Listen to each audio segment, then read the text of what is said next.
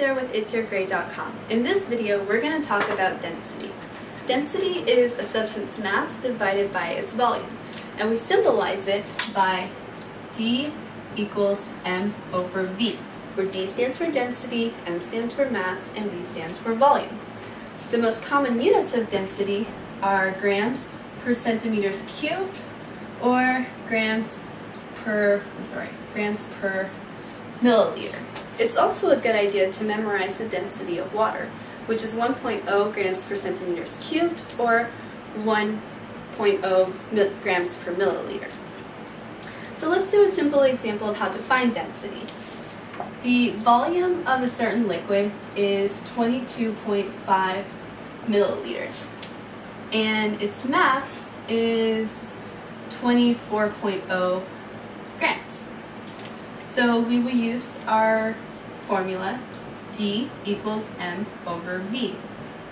Our mass is 24.0 grams, and our volume is 22.5 milliliters. So where's my calculator? We punch this in, 24 divided by 22.5 gives us 1.0667 grams per milliliter need to take significant figures into account. The mass has one, two, three significant figures. The volume has one, two, three significant figures as well.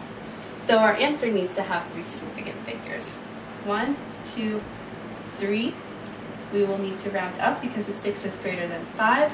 So our answer is going to be density is equal to 1.07 grams per milliliter. That's a simple calculation of finding density. But what happens if you have a more involved um, density problem where you have to use unit conversions? And unit conversions I've talked about in the previous video. So let's work on that type of an example. We're going to talk about the gas in your gas tank. The gas in your gas tank has a mass of 65.0 kilograms and the density of gasoline is 0.752 grams per centimeters cubed. Oh, I don't know why I circled the three. Um, to do this problem, we need to do three steps. The first step is going to be, if you look at the mass and you look at the density, we have kilograms and grams. Well, those units don't match up. So for the first step, we're going to convert the mass, kilograms, into grams using unit conversions. In the second step, we need to find what volume is. We have density, we have mass, so using density equals mass over volume, we can then find volume in centimeters cubed. In the third step, I want to convert the centimeters cubed into gallons because the gas in your gas tank, we know we go by the units gallons.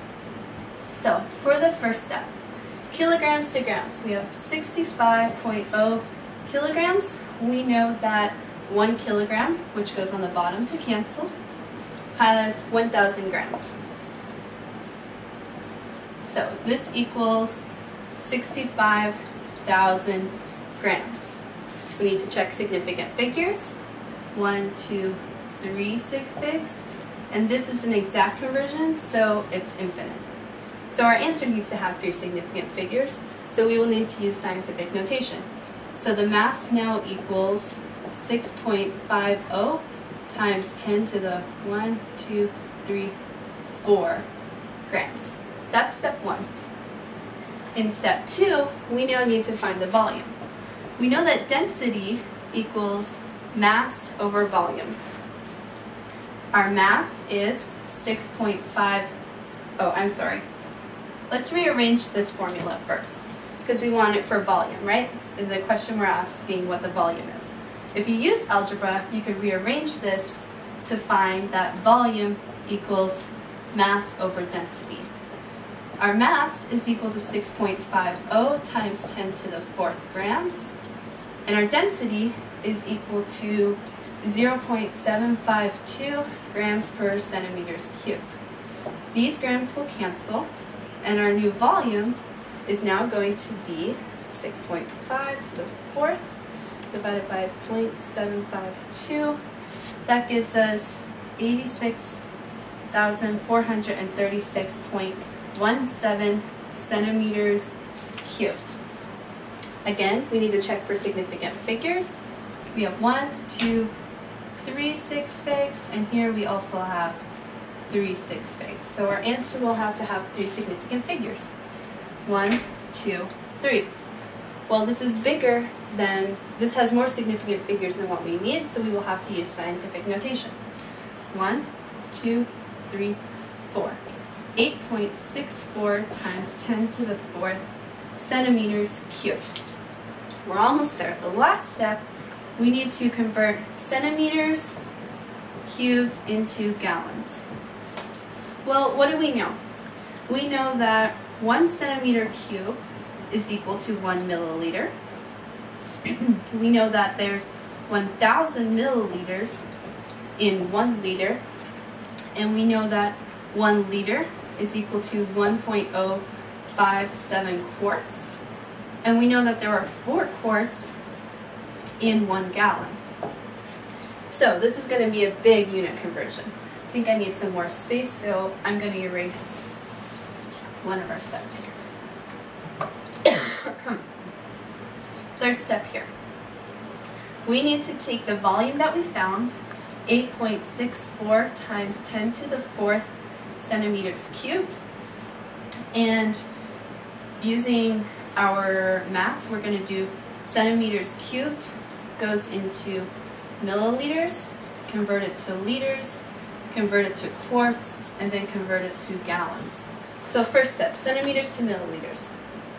Centimeters cubed needs to go on the bottom, and one milliliter will go on top.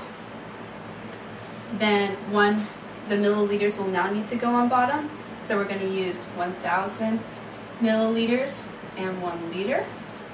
Liters will now need to go on bottom. So one liter and 1.057 quarts on top. Quarts will need to go on the bottom. So four quarts is equal to one gallon. So if you notice centimeters cubed cancel, the milliliters cancel, the liter cancels, the quarts cancel, and we're left with gallons, which is what we want. So let's punch this big thing on the calculator. 8.64 to the fourth um, times 1, that's just 1, times 1.057 divided by 100, 1,000. 1,000 divided by 4.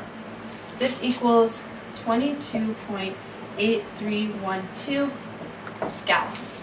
Again, significant figures need to come into play. One, two, three sig figs here. And these are, well, these two are both exact because they're, uh, they have infinite number of sig figs. This is also exact. This one has one, two, three, four sig figs because this is an approximation. It's not an exact value. Three sig figs is the lowest, so our answer has to have three. One, two, three. The volume of the gas in the gas tank is going to be 22.8 gallons. The three is less than five, so there's no rounding. And that's a more involved calculation of density.